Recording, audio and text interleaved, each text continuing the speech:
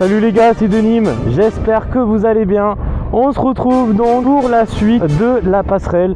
Comme vous l'avez vu dans les vidéos précédemment, il y a eu l'inscription à la passerelle et l'accident qui n'était pas du tout prévu. Et donc ben là, on se retrouve dans la partie 3, donc la pratique de la passerelle. Donc cette vidéo les gars, on va faire le plateau toute la matinée et l'après-midi, sûrement dans une prochaine vidéo, je ne sais pas encore on fera la partie euh, circulation, donc avec la moto-école. Vous expliquer les gars, je fais cette vidéo avec la moto-école Paul 30 euh, de Daffy c'est permis et c'est grâce à Daffy que je peux faire ma passerelle euh, aussi rapidement tout ça. Donc merci à Daffy Moto qui est mon partenaire officiel de la chaîne, tout ça et des équipements. C'est grâce à Daffy si je suis protégé. Alors là, il faut juste que je me remette dans le bain parce que après un accident, j'ai pu, j'ai perdu limite mes capacités. Là les gars on est sur la MT-07 Yamaha MT-07 Alors c'est sûr que c'est pas du tout comme la MT-09 Et pour ceux qui demandent à quoi sert une passerelle Et eh bien pour vous expliquer après deux ans de permis Vous pouvez passer le A Donc la passerelle Pour pouvoir conduire tout type de moto Peu importe la puissance, la cylindrée etc C'est un peu la carte blanche euh, du permis Vous voyez. Vous allez pouvoir tout conduire. Genre des motos qui font 200 chevaux Vous allez pouvoir une fois que ce sera validé tout ça donc ça c'est cool. J'ai l'impression que c'était il y a deux ans. C'est nostalgique. Mais avant tout on va changer votre position qui est merdique à souhait. Et je te défie en canard, je te freine à deux doigts, les genoux bras ils sont comme ça, les genoux qui s'écartent, le regard par terre. Bref tout ce qu'il faut pour faire une belle merde finalement. C'est assez euh, direct comme langage, mais on s'habitue vite. À la prochaine vidéo, de la moto, Ah, le plateau c'est bien hein, pour se remettre un peu en, en selle, ouais. Après on roule, on roule tout le temps, tu vois. On a la passerelle, ce qui est bien c'est que tu as déjà roulé avant donc tu sais un peu les bases.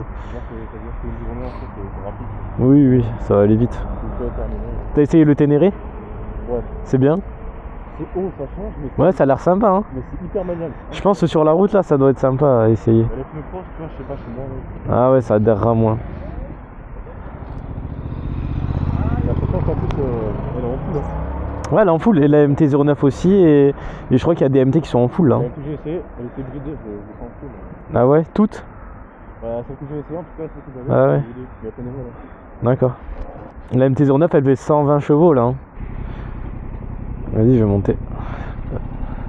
Ah, sais pas, je t'en tiens avec mon dos, hein. Ouais, c'est bon. Vas-y. Ouais, c'est bon. Allez. Donc, un peu plus dynamique l'accélération. Et puis on lâche. Donc on a l'allure impeccable pour tourner là. Ok, parfait.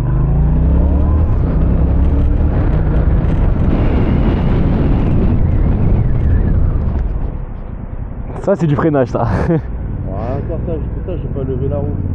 Ton épaule en vrac, j'ai pas trop osé, tu vois. Ah, ça va, là, je force pas trop. Hein Ça va, là, je force pas trop.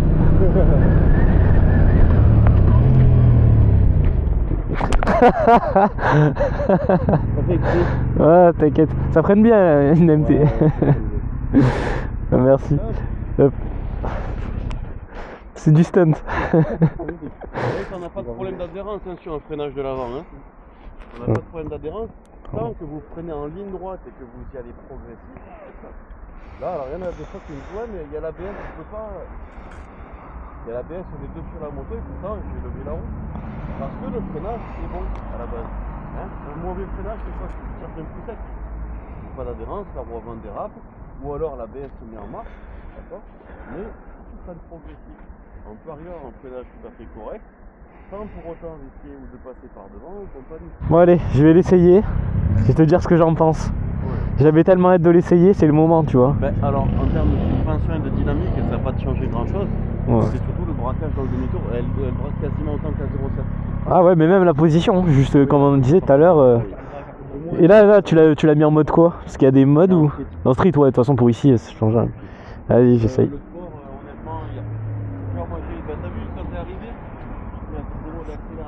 Ouais. Ah bah oui. Ouais, ouais, ouais. On verra tout à l'heure sur la route. Euh. Ah, déjà, je me retrouve un peu. C'est beaucoup mieux.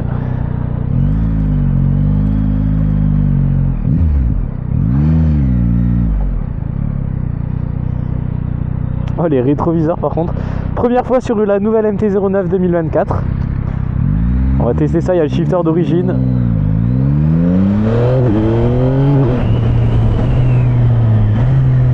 Ah c'est pas mal, c'est pas mal, pas mal, ça marche bien en plus. Je vois pas vraiment de différence entre euh, la mienne et qui a un bride à 2 au niveau de la puissance. Parce la puissance elle se fait. Ah c'est pas mal, c'est très couplé quand même.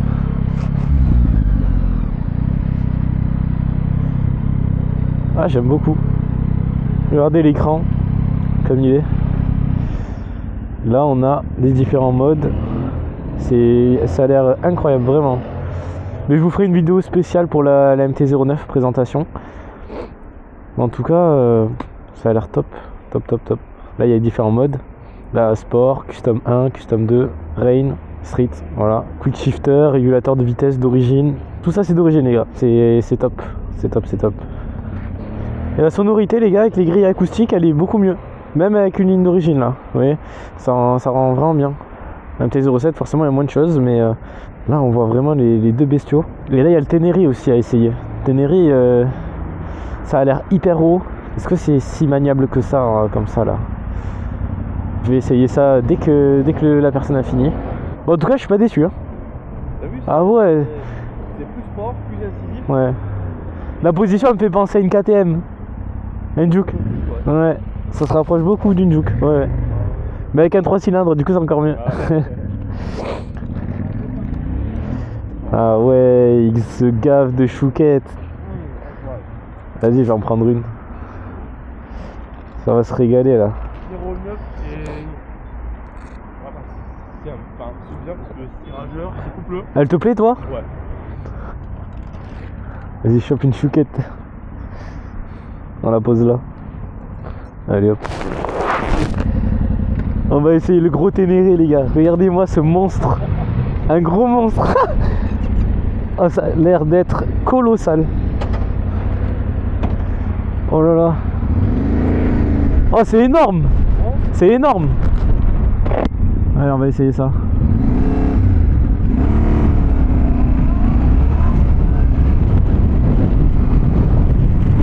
Ah ouais, quand même.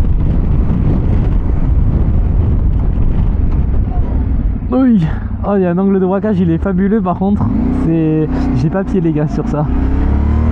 Vous en pensez quoi? Dites-moi ce que vous en pensez en commentaire. Allez, on va essayer de bien prendre l'angle de braquage. Non, en vrai, c'est pas mal du tout, hein. C'est pas mal. C'est pas mal, hein. Par contre, euh, c'est compliqué de prendre euh, le, demi-tour. Ouais, vraiment ça part, ouais. L'angle de braquage, est pas mal. Mais c'est un paquebot, cette, cette, moto. C'est vraiment un paquebot. Mais c'est hyper confort et tout. Moi, ce qui me perturbe, c'est la bulle devant. Mais bon, c'est obligatoire, une bulle, là, pour, euh, un truc comme ça. Quand tu te prends tout le vent.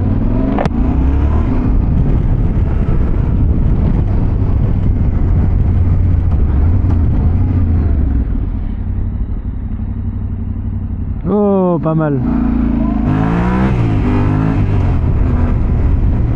Mais il y a un shifter. Ah, il y a shifter dessus. C'est écrit là. On va passer les rapports au shifter. C'est quoi? Donc là, en fait, pour vous expliquer, on est à la troisième étape de la formation passerelle. On commençait par des lignes droites, ensuite le freinage et maintenant les slaloms. Ah, c'est pas mal, hein? Hein? Ah, j'aime trop, c'est hyper maniable. C'est hyper maniable.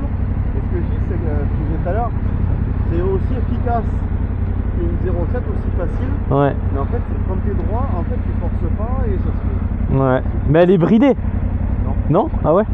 Oui. Non, elle est pas bridée, mais là, franchement, sur la piste, tu peux pas t'en rendre compte. Non, ouais. Et il y a shifter que up, il n'y a pas le down. Il y a super qui après. Ouais, je l'ai senti aussi. Ah ouais. Ok. Après, tu sens qu'elle est pas faite pour ça.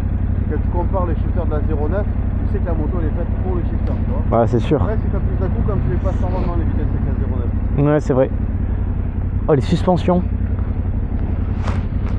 Elles sont pas mal les suspensions là-dessus. Les gars, dites-moi en commentaire aussi sur quelle moto vous vous passez le permis, que ce soit le 125, permis A2 ou la passerelle. Nous là on a MT-07, MT-09 et Ténéré 700, que de la Yamaha. Donc euh, C'est vraiment des motos bien pour passer le permis en tout cas. Et bien entendu, là où je me sens le plus l'aise, c'est sur la MT-09 vu que j'en ai une. Même si c'est la 2024 là, euh, bah, c'est limite encore mieux. Ça me rappelle trop des souvenirs en tout cas du permis à 2 là. C'est trop trop bien. Vas-y, je vais demander si je peux prendre la MT-09 là. Je vais poser ça. J'ai envie d'essayer le slalom avec la MT-09.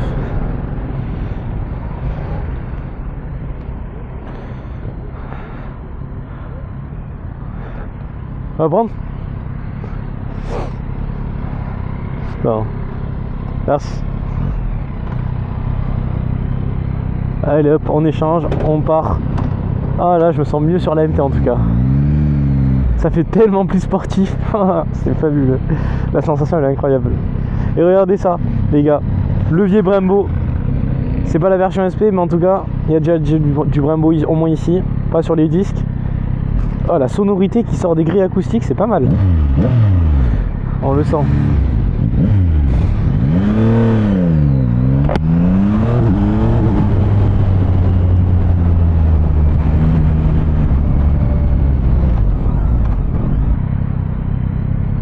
Ah, elle est trop bien la MT, vraiment. Celle-là, c'est un bonheur. Là, ils ont fait vraiment une moto qui s'approche d'une moto euh, d'un roster sportif. C'est roster sportif, ça, vraiment. Ah, ah oui. Vraiment, ouais. Et je te dis le châssis. Bon, moi, ben, quand on l'a reçu, c'est le rodage entre guillemets. Ouais.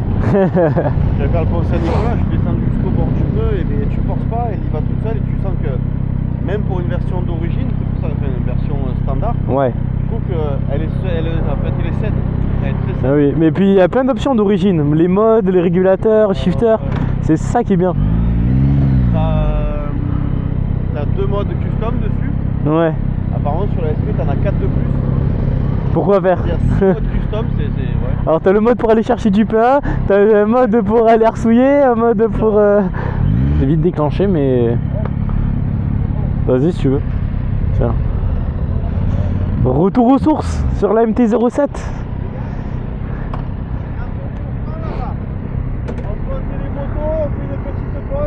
Ah, bah je vais récupérer mon sac.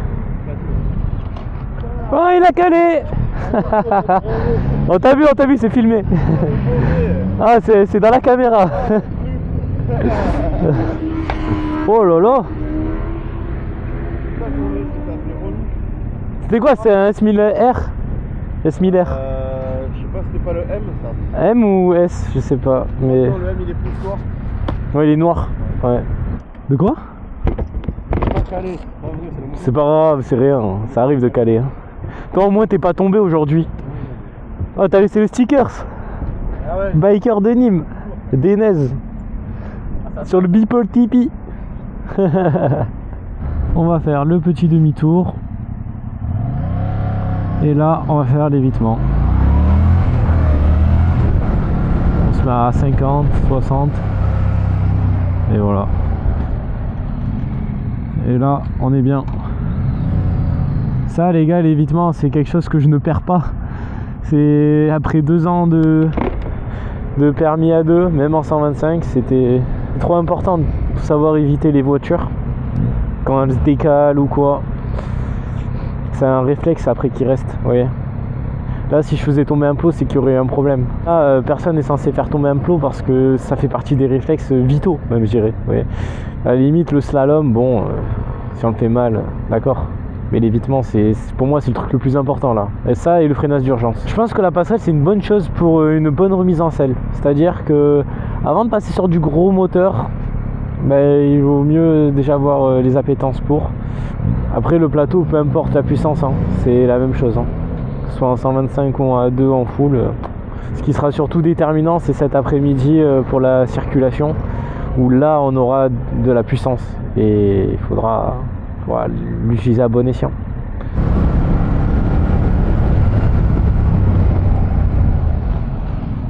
Ah, on est pas mal, on est pas mal. Vas-y. On va essayer avec la MT-09.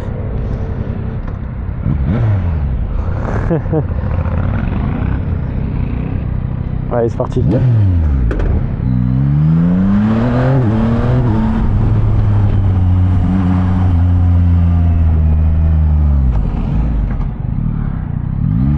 C'est très agréable en tout cas. Très très agréable. C'est d'une tendresse. Hein J'ai dit, c'est d'une tendresse là, même dans l'évitement avec ça. Ouais, ouais, les. ça bouge pas. hein. C'est. Très confort. Ouais, ouais, vraiment.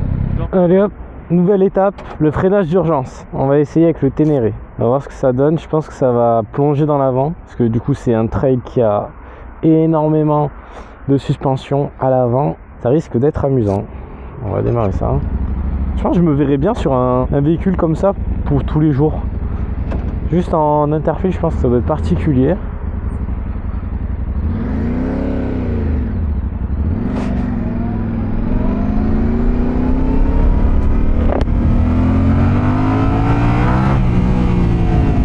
Et il y a un bouton ABS. C'est parce quoi si on appuie dessus On va essayer le freinage d'urgence avec un Ténéré, les gars. J'ai jamais fait ça. Première fois. C'est parti.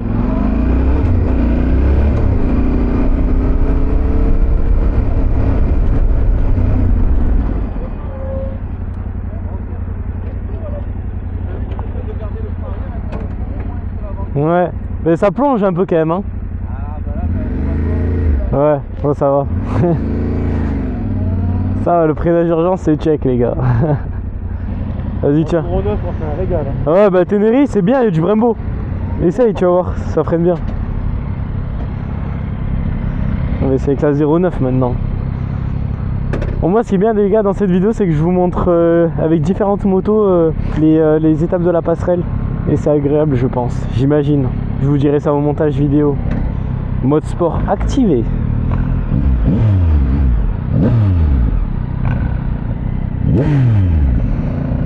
Ah, ce qui est bien, les gars, c'est que le temps s'est levé, il y a moins de vent, il fait un ciel bleu magnifique, il fait pas chaud. C'est- top là. C'est le temps parfait pour euh, faire de la moto en tout cas. En septembre, c'est c'est ce qui est bien. Faut pas avoir honte, les gars. Il vaut mieux, vaut mieux caler plutôt que se prendre la voiture, vous voyez. Et forcément, si on retient pas l'embrayage, et ben, on cale à la fin. À part si on prend l'embrayage au bon moment, mais bon. En tout cas, nous, là, ce qui est de nous dire, le moniteur, c'est qu'il faut pas prendre l'embrayage. Euh, ça, il faut le bannir. Parce que si on prend l'embrayage, en fait, ben, on, on a moins de chances de freiner euh, rapidement. Bon, bah les gars, moi je repars avec la MT-09.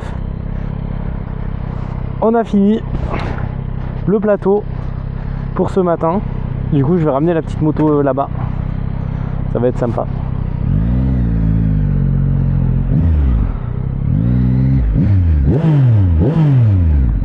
Let's go Et je vais la mettre carrée juste à côté. Voilà, les 3 MT-09. Première génération, troisième génération, quatrième génération. Il manque que la deuxième. Regardez ça.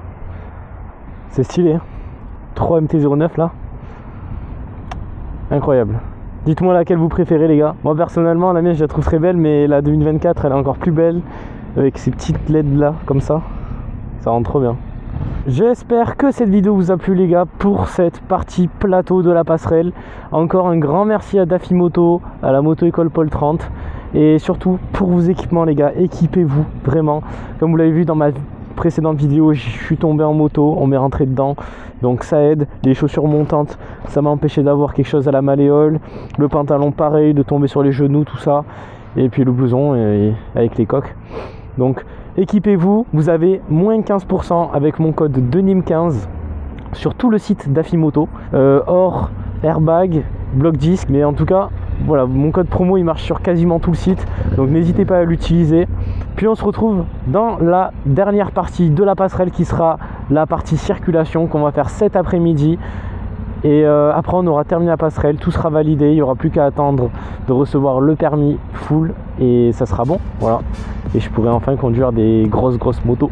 C'était Denim, je vous dis à très bientôt les gars, ciao ciao